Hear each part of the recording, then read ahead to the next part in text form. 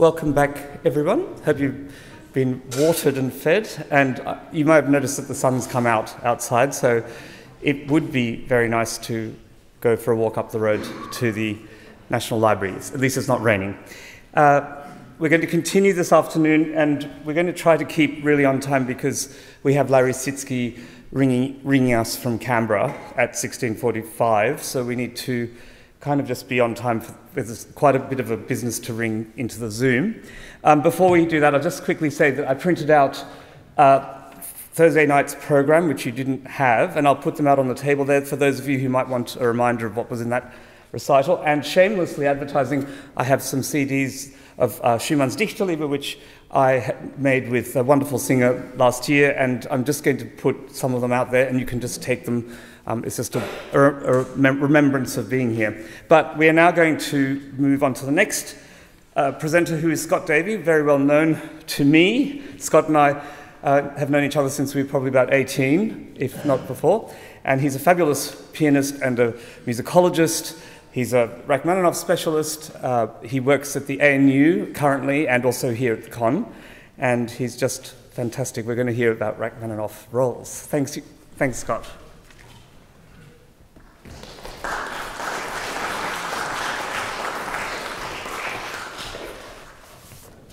Uh, thank you very much. Um, usually I just talk to slides, but today I'm going to read you what I've written and it's very old school, it's actually from paper.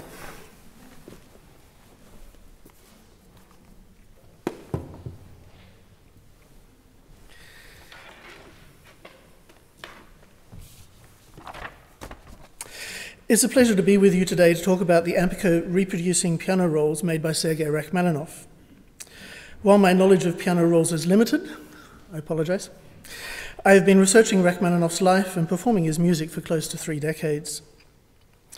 In today's presentation, I will discuss Rachmaninoff's 35 piano rolls, offering details on the adjacency of his stage performances and gramophone recordings, and making comments on matters of interest.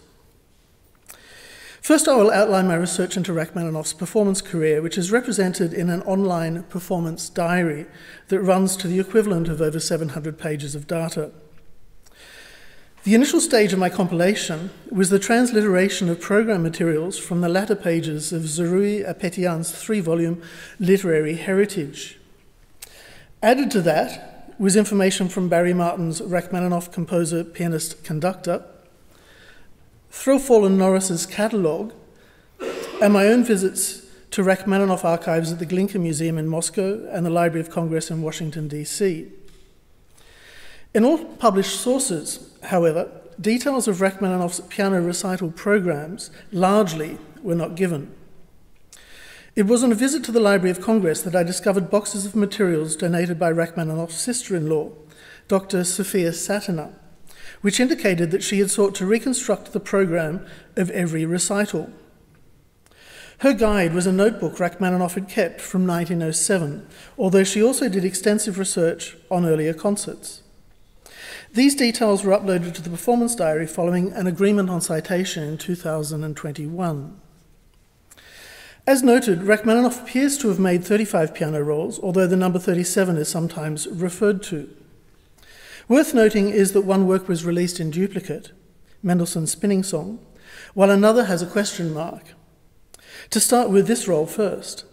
In Rachmaninoff specific literature, there is confusion about the roll or rolls of the second piano concerto of which Martyn noted the second movement was played publicly in 1983.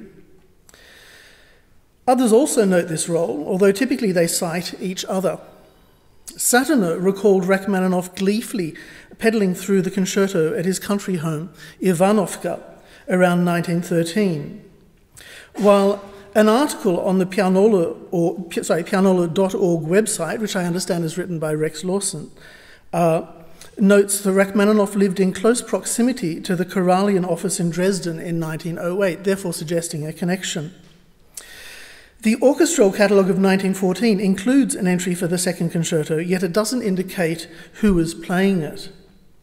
If I understand correctly, a distinction is made between hand played rolls and those that are not so creatively made. As I suspect that Rachmaninoff would have at some uh, point let others know if he had hand played rolls of this work, considering especially the uh, commercial nature of his life in America later on.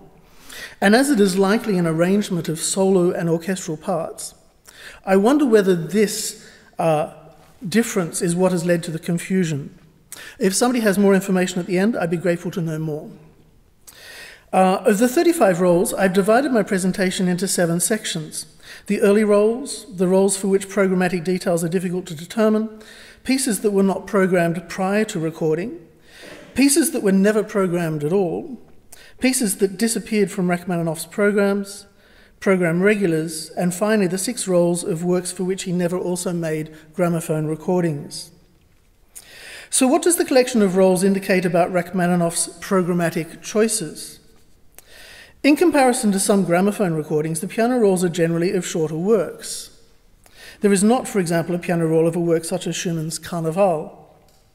Yet it would be inaccurate to say that Rachmaninoff only made rolls of miniatures or encores, although certainly, or sorry, although certain works undoubtedly fall within this category. In an article soon to be published, I compare recital programs from Rachmaninoff's 1924-1925 season. And the inclusion there of large works in the data, such as sonatas, provides a unique insight to Rachmaninoff's thinking about repertoire and program formation and balance. Due to their relative shortness, my analysis of the works for piano roll provides uh, a less clear picture, although certain commonalities are evident. First, a note on Rachmaninoff's programming. Prior to leaving Russia, generally he played only his own works, uh, such as the program here from his 1909 uh, concert uh, in the United States. And I'll leave these slides up just for a second so you can see the repertoire. And from 1913 in Russia. Uh, the first piano sonata was obviously the lead uh, work in the, the first program, the second piano sonata in this program on the, the, the screen at the moment. After emigrating in 1917, his first concerts in Scandinavia were similarly programmed, such as here in Stockholm. But from concerts post summer of 1918, and then for the rest of his life, there was a sudden change, and he mainly performed the music of other composers including only a small set of his own works, such as here in Lund, where Mozart, Beethoven, Schubert, Chopin, Rubinstein, and Tchaikovsky feature. The same can be seen here in Rachmaninoff's first recital in the United States after emigration on the 8th of December 1918 in Providence, Rhode Island. The generic reference to works by Chopin was a feature of the printed program rather than an error of research. And it is this perhaps intentional vagueness that leads to instances where precise details are currently unknown. So, beginning with Rachmaninoff's early piano rolls, it is perhaps not a surprise to see the works he played were, uh, were mainly regulars on the previous slides. One notes Rachmaninoff's most famous early composition, the Prelude in C sharp minor, opus 3, along with other short works from the Morceaux de Fantaisie, such as the Melody and the Polichinelle. There are two works from his Morceaux de Salon, Opus 10, the Barcarolle and Humoresque, both of which had featured in previous programs, along with the Polka and the G minor Prelude from Opus 23. Tchaikovsky was an influence on Rachmaninoff's early life, and performances of his works held nostalgic significance. In the case of the Troika, uh, a Rachmaninoff scholar Rebecca Mitchell claims he played it for the composer as a young man. However, after the concerts in Scandinavia, Satina's data show it was not programmed prior to the piano roll recording on the 17th of March 1919, nor an attempted gramophone recording the following year.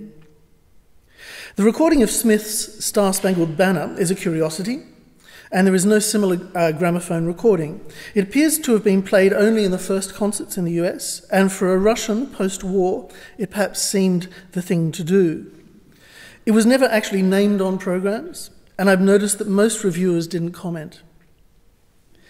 As noted, in some instances it's been difficult to determine what Rachmaninoff played due to vague references to a waltz or a polonaise, and sometimes even his own works. Prior to the piano roll recording of Chopin's Grande Valse Brillante in E flat, uh, opus 18, he had played waltzes in D flat major, the minute, A flat major, both opus 42 and opus 64, number 3, B minor, and F major, The first program reference to the E flat major waltz appears on the 15th of November 1920 in Cleveland, Ohio, and it then featured in subsequent concerts on that tour. It was recorded for gramophone in the same year as the piano roll. Details of prior performances are vague for this waltz in F major and the nocturne in F major. Yet the F major waltz is named on programs frequently between 1921 and early 1923, which precedes the piano roll on the 13th of April. It had, in fact, been recorded for gramophone in 1920, although it was not published until after Rachmaninoff's death. If people know this recording, there's occasional wrong notes in the, in the bass. Regarding the nocturne, works in this genre in the keys of F sharp minor, F minor, E flat major, and E major had for years been regulars, although the nocturne in F major, opus 15, does not appear on a program until the 20th of January 1927, pardon me, in Rutland, Vermont. The piano roll recording dates from the 1st of February 1927 and is one of the group of six that I'll return to at the end. It is curious that there are recordings of works that appear to have had no uh, prior public performance, such as Rachmaninoff's transcription of Fritz Kreisler's Liebeslied. It was recorded for gramophone, uh, gramophone rather, on the 25th of October 1921, prior to his season actually beginning on the 10th of November and it was likely written during the summer break. It then featured frequently as the penultimate work on programs before he recorded his piano roll on the 6th of April 1922. Liszt's transcription of Chopin's Maiden, sorry, Maiden's Wish also appeared in no prior programs before two attempts for the gramophone in 1922. Neither were released, nor before his piano roll recording on the 13th of November 1923. This piece did, though, form part of his first transcriptions program of 1932 33, and a similar second series in 1941 42, making the gramophone recording a very late example of Rachmaninoff's art, recorded in Hollywood on the 27th of February 1942. It might, of course, be uh, that when certain small works didn't appear on programs, they still featured as encores. Indeed, this is sometimes the case, although in the absence of detailed reviews, certainty is not possible. The following works, which Rachmaninoff recorded for piano roll, never appeared on any printed program ever, and accordingly were perhaps all intended as encores. They are Henselt's Si oiseau j'étais, Liszt's transcription of Schubert's Müller and song Das Wandern, Paderewski's Minuet in G, Rubinstein's arrangement of Beethoven's Turkish March, and his own version of Rimsky-Korsakov's The Bumblebee. In the case of the latter, which dates from his final piano roll session on the 1st of February 1929, I have uploaded to the performance diary reviews from concerts in 1931, 1937, 1940, and 1941, all of which attest to its encore status. The next group of rolls focuses on works that disappeared from programs. It should not be assumed that when a work disappeared, it had been relegated to encore status, as other short pieces which fall into the encore category were actually regularly programmed. Rachmaninoff's taste could change rapidly. For example, Schumann's Sonata in G minor, opus 22, which was programmed with intense regularity in concerts across America in 1924 25, was suddenly dropped after a concert in Winnipeg on the 4th of March and will be played only once more on the 15th of January 1940. Rachmaninoff's transcription of Mussorgsky's Hopak was recorded for piano roll on the 5th of March 1921, shortly after it first appeared on a program on the 26th of February in New York. It would appear in programs both in the UK and the US in late 1924, and at two of his White House performances, while the gramophone recording on the 13th of April 1925, curiously, is its last ever mention. Rachmaninoff's rhythmically witty rendition of Mendelssohn's spinning song, also known as the Bee's Wedding, was also recorded for piano roll on the 5th of March. It appeared on programs in 1923 and 1928, leading to the second gramophone recording on 25th of April that year, yet was then not programmed again. His transcription of the minuet from Bizet's L'Arlésienne appeared on programs soon after its creation in 1922, was played on a further 10 programs prior, to the gramophone recording in February that year, and only once more before the piano roll on the 6th of April. It was played at the White House in both 1924 and 1927, but thereafter also disappeared. Tchaikovsky's Waltz in A flat featured frequently in 1918 and 1919, was recorded for the gramophone on the 5th of April 1923 and then recorded for piano roll on the 13th of uh, April, after, it, after which it was not programmed again. A few attempts at gramophone recordings of the Serenade from Opus 3 were made in late 1922, ahead of the piano roll recording on the 13th of April 1923. Yet in this instance, it didn't entirely disappear, as his revised version is programmed through late 1929 and then again for a concert in Leeds, one single concert on the 24th of March 1936, around the time of the second gramophone recording.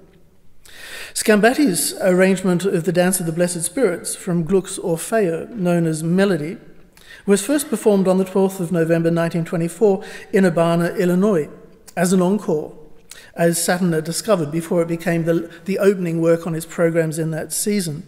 His piano roll recording was uh, on the 14th of January 19... Sorry, his piano roll recording on the 14th of January 1925 appears to have been relatively easy compared to numerous attempts he made for gramophone before it too disappeared. In my view, I think it's one of Rachmaninoff's finest uh, recordings, both the, the piano roll and the, the eventual gramophone recording.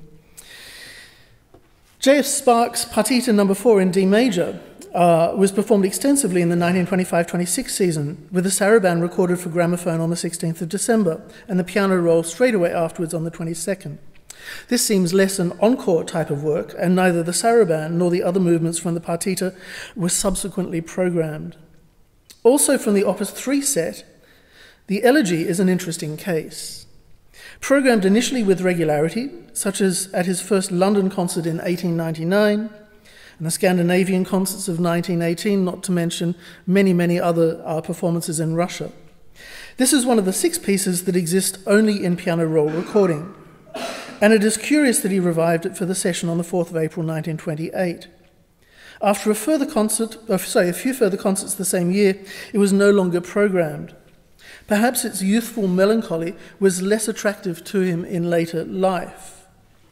Nevertheless, we can be grateful for the piano roll, as it confirms the G flat clash against the E flat major dominant chord on the last page, which is still corrected uh, in some editions. So that edition there from Pavel Lamm is wrong. Uh, Rachmaninoff's piano roll uh, recording tells us that the other editions that have a G flat in the melody is absolutely what he wanted. Uh, moving on to rolls of works that were regulars throughout his life, as Satina's data has now confirmed, they include the transcription of his song, Lilacs. The piano roll dates from uh, 13th of April 1923 with gramophone recordings from 1923 and very late 1942. His transcription of another Schubert Müllerin song known as the Brooklet or Wohin, piano roll from 22nd of December that year. His transcription of Kreisler's Liebesfreude from the same session. Schubert's Impromptu in A flat major, piano roll 27th of March 1928, some three years after his gramophone recording, and the famous Little Red Riding Hood Etude Tableau, Opus 39, number 6, piano roll on the 5th of March 1921 and gramophone uh, on 16th of December 1925. Despite the early recording of this work, I mention it last because, drawing towards the uh, end of my presentation, it also appears to have been played on Rachmaninoff's final recital in Knoxville, Tennessee, on the 17th of February 1943. Also on that program was the Etude Tableau in B minor, another of the six works for which we have no recording other than the piano roll from the 27th of March 1928. Satina indicates its appearance as frequent only around the time of the recording, although presumably there are more because uh, sometimes it's just a generic reference to an etude tableau in a printed program. Uh, Rubinstein's Barcarolle, which we, for- we, were fortunate to hear on Thursday evening, thank you, Peter, uh, returned frequently to programs across almost the entirety of Rachmaninoff's life, and it was recorded for piano roll on the 1st of February 1929. The Chopin Nocturne in F major, his elegy, and the American uh, anthem I've already mentioned. So this now leaves just one roll to note, and it is perhaps uh, the most significant Chopin's Scherzo number two in B flat minor. It's significant and important because we don't also have a gramophone recording, but also because we have so few recordings of the mid length works Rachmaninoff played in concert. Possibly in his repertoire from as early as 1892, all four Chopin scherzos were regulars, were regular program inclusions. I find the rhythmic discipline of this performance remarkable as to the beauty of the inner voicing of the middle section. Regarding rhythm, I referred earlier to the rhythmic wit uh, in Rachmaninoff's recording of Mendelssohn's Spinning Song. In all three recordings uh, appear random hiccups where he somehow seems to skip a beat. Yet it is actually a finely contrived scenario. He doubles the number of preamble bars and then adds a full half bar to the final upbeat quaver. It's quite a thought out little trick and very witty. Similarly, with the Chopin B flat minor scherzo, there is uh, intelligence in rhythmic displacement. Within a largely disciplined rhythmic reading of the piece, and I note that one could almost place a, a metronome beside it in sections, he persists in uh, continually playing the opening motto in a uniformly slower tempo.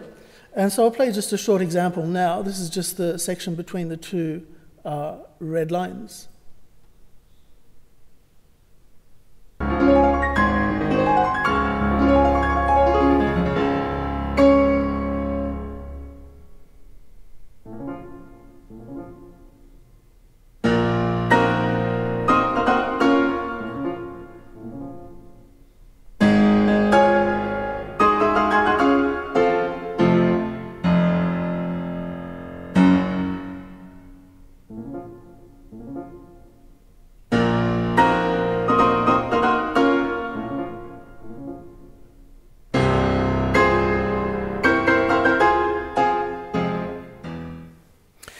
Um, I've listened to quite a few uh, Rachmaninoff recordings, and I, I, I, know a little bit about his counting. Uh, one sense is listening to the whole of that recording, uh, the degree to which uh, internally his, his timekeeping was incredibly precise, and, and the way in this scherzo he's able to switch automatically to some sort of uh, alien sort of uh, tempo, different tempo. Um, if people are familiar with Rachmaninoff's recording of Kreisler's Liebeslied, uh, I get my students to listen to it all the time. It's uh, in four bar phrases and it's played with a fair bit of rubato. But if you get a student to just tap the downbeats as they listen to it, in all of those four bar phrases, the rubato is never the same. Sometimes he'll take the rubato in the first bar, second, third, fourth, all in tempo. Sometimes the first and the second bar will be out of tempo, the third and the fourth in tempo. Sometimes he'll save, as is typical, the rubato to the last bar. But it's no accident that every single one of those four bar phrases can have a different pattern of uh, rubato. Um, so, back to my uh, notes. It's understood that Rachmaninoff borrowed the overall crescendo decrescendo of the funeral march in Chopin's second sonata from Anton Rubinstein. So, whether this effect in the scherzo is something that he copied or whether it is original, I do not know. But picking up uh, on your comment, Neal, it uh, confirms that in the past, artists didn't always feel the need to play exactly what was written in the score. So, to conclude, uh, Satina's data has enriched Rachmaninoff research in a major way.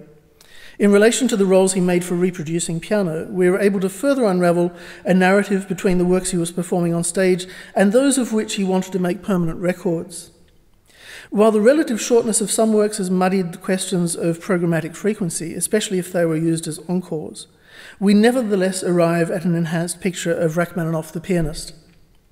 Scrolling through the diary's many programs, one senses that this window onto Rachmaninoff's unfolding creative life was perhaps Satina's intention all along. Thank you. Oops.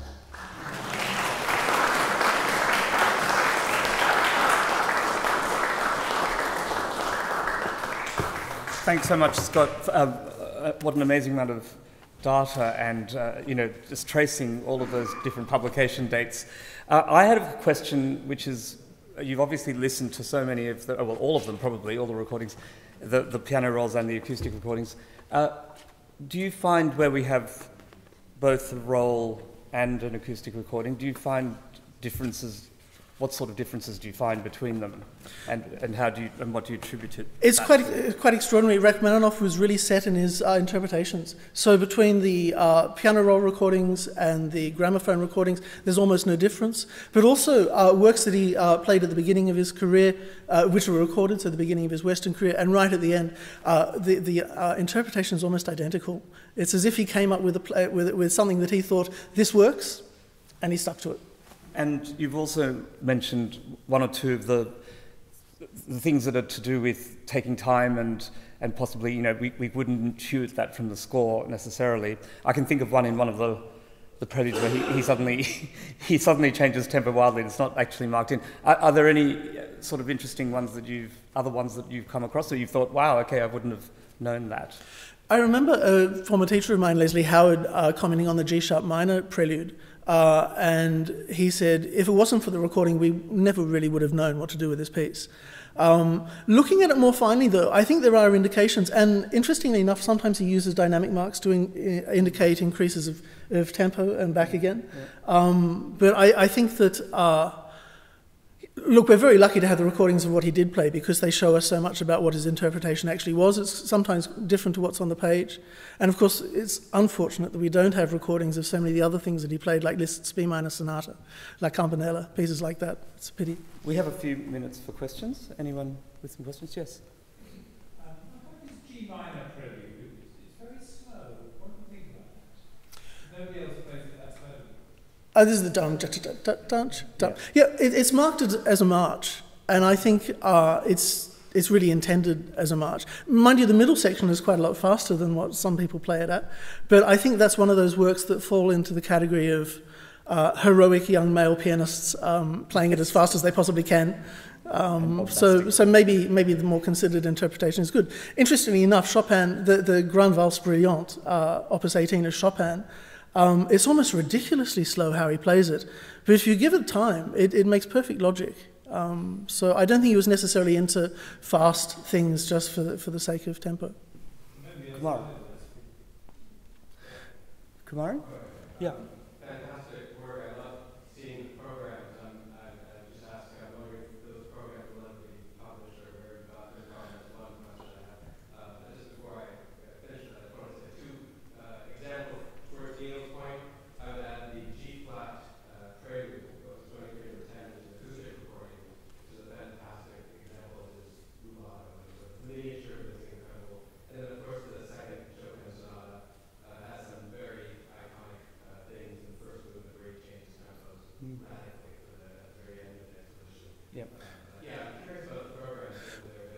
Okay, yeah, sure. So if you go to rachmaninoffdiary.com, um, most, a lot of them are there. So what I've done, uh, everything up until the first American concert in 1918, every program that we know is freely available on the website.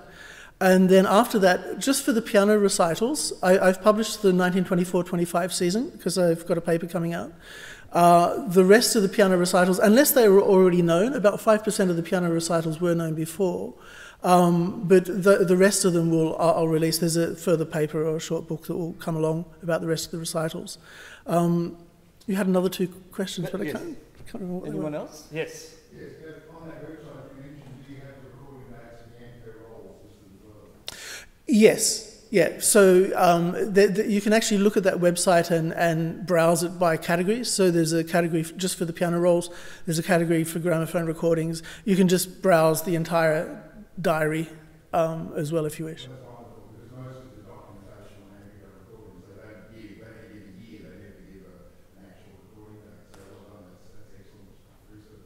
Are there any other questions? I just thought I might ask you to say a quick word about what you're working on at the moment for the the oh. ARC linkage. Okay, so um, a bizarre thing that also happened regarding the Library of Congress, um, I was made aware of the original version of the fourth piano concerto, which was in manuscript form. I knew Robert Threlfall, who was a great Rachmaninoff researcher, worked with Boosey and Hawkes. Um, he allowed me to get a photocopy of the manuscript, so I've known the work now for some 30 years. In 2012, I was incredibly lucky to give uh, the first Southern Hemisphere performances of the original version uh, at the Sydney Opera House with Vladimir Ashkenazy. Um, there's always been a question as, as, to why he changed it. There's uh, two different versions, uh, two subsequent versions, one from 1928, one from 1941. A lot of people thought that he was unhappy with the music. He'd actually started writing it almost as soon as he finished the third piano concerto. He didn't uh, finish the original uh, version until 1926. What we discovered, though, even uh, now with the modern orchestra, it's almost unplayable. And it's unplayable simply because of the rhythmic complexity. And uh, the, the, very bits that uh, the modern orchestra struggled, struggled, with the most were the very bits that Rachmaninoff cut out in the first revision to it. Um, it seems that he didn't think of something really quite basic cues in orchestral parts. So uh, we've got a project going. Hopefully, it will, will, come to fruition where we, with the Canberra Symphony Orchestra, we uh, workshop and trial our parts with cues, uh, leading to a more performable uh, version of the work. So.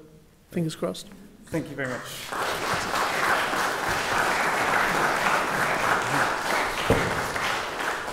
And ah, we've got Julio